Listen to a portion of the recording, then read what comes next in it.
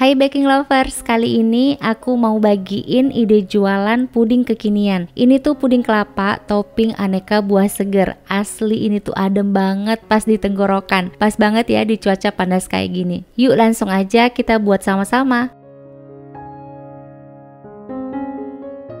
Pertama-tama aku siapin pancinya dulu. Saya pakai panci kastrol 20 cm dari Idea Life. Lanjut kita masukin agar-agar bening 7 gram gula pasir 50 gram, kemudian 700 ml air kelapa. Nanti gula pasirnya bisa menyesuaikan karena ini tuh air kelapanya cukup manis, jadi saya pakai gula pasirnya hanya 50 gram. Terus tambahin daun pandan, lalu kita masak pakai api sedang sampai mendidih sambil terus diaduk-aduk.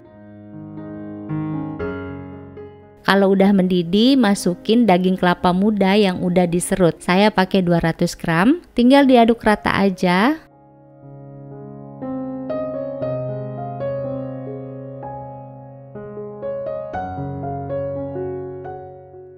Abis itu kita angkat lalu pindahin ke cup. Saya pakai cupnya volume 300 ml. Nanti hasilnya jadi 4 cup. Kalau mau bikin lebih banyak, resepnya tinggal dikalikan aja ya. Ini kita tunggu dulu sampai pudingnya set. Setelah pudingnya set, tinggal kita tambahin topping aneka buah. Saya pakai buah kiwi, anggur merah, terus jeruk kalengan, nata de coco, terus ada buah lengkeng,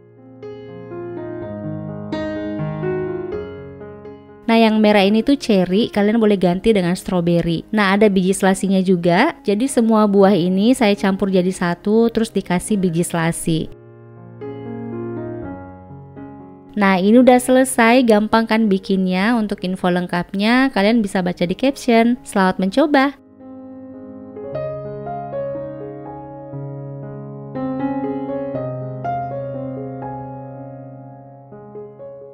Terima kasih sudah menonton video ini, semoga bermanfaat buat kalian. Sampai ketemu lagi di video berikutnya.